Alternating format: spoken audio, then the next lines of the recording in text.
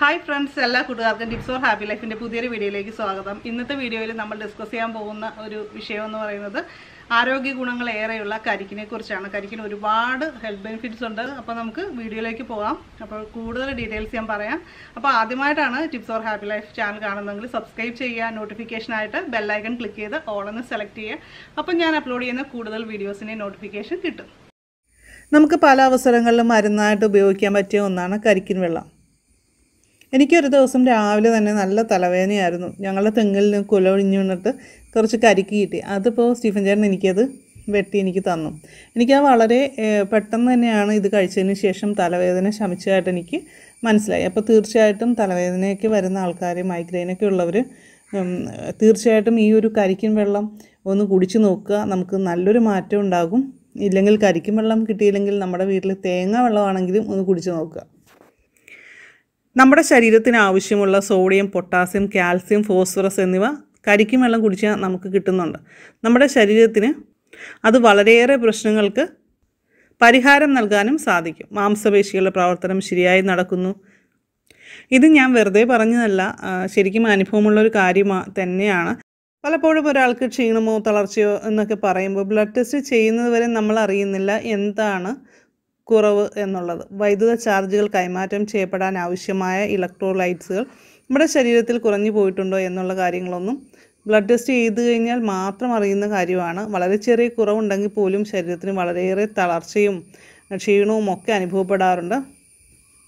ഇപ്പോൾ കോവിഡിന്റെയൊക്കെ സാഹചര്യമായതുകൊണ്ട് ചികിത്സയും പലപ്പോഴും വൈകിയായിരിക്കും ലഭിക്കുന്നത്. അപ്പോൾ അത്തരം കാര്യങ്ങൾ അനുഭവപ്പെട്ടു കഴിഞ്ഞാൽ ചികിത്സ വൈകിക്കരുത്. ഒപ്പം തന്നെ എത്രയും പെട്ടെന്ന് നമുക്ക് ഒരു കരിക്കിൻ വെള്ളം കുടിക്കാവുന്നതാണ്. ഈ ഒരു കാര്യം ഓർത്തു വയ്ക്കുക. നമുക്കും അത് അതുപോലെ നമ്മുടെ ചുറ്റുമുള്ള ആർക്കെങ്കിലും ഇതുപോലെ എന്തെങ്കിലും വിഷമങ്ങൾ ഉണ്ടാവുകയാണെങ്കിൽ എത്രയും പെട്ടെന്ന് എളുപ്പത്തിൽ ചെയ്യാവുന്നൊരു കാര്യമാണ്. ചെറിയ വേരിയേഷനൊക്കെ കാരണം ഉണ്ടാകുന്ന ക്ഷീണവും തളർച്ചയൊക്കെ കരിക്കും വെള്ളം കുടിച്ചു കഴിഞ്ഞാൽ മാറ്റാനായിട്ട് സാധിക്കും.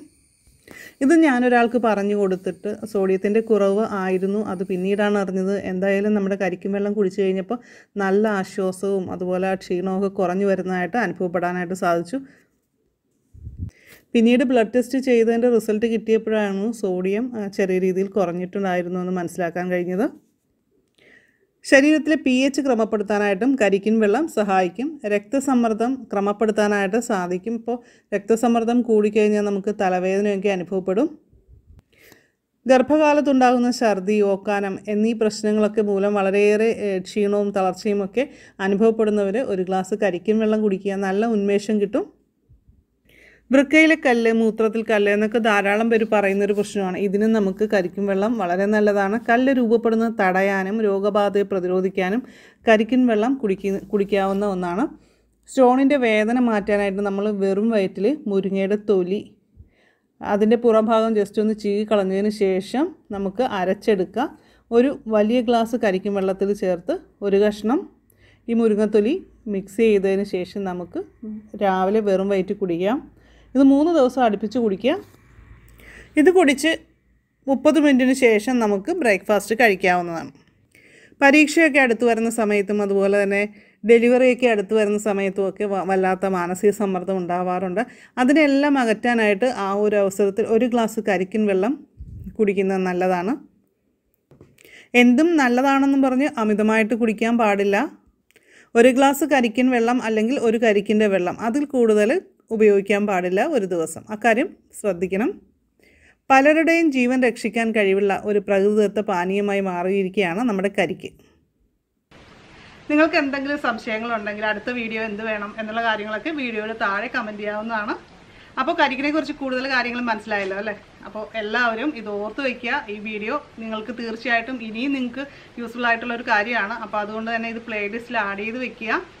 അപ്പോൾ നമുക്ക് മറ്റൊരു വീഡിയോയിൽ വീണ്ടും കാണാം. എല്ലാവർക്കും നല്ലൊരു ദിവസം ആശംസിക്കുന്നു. നന്ദി നമസ്കാരം.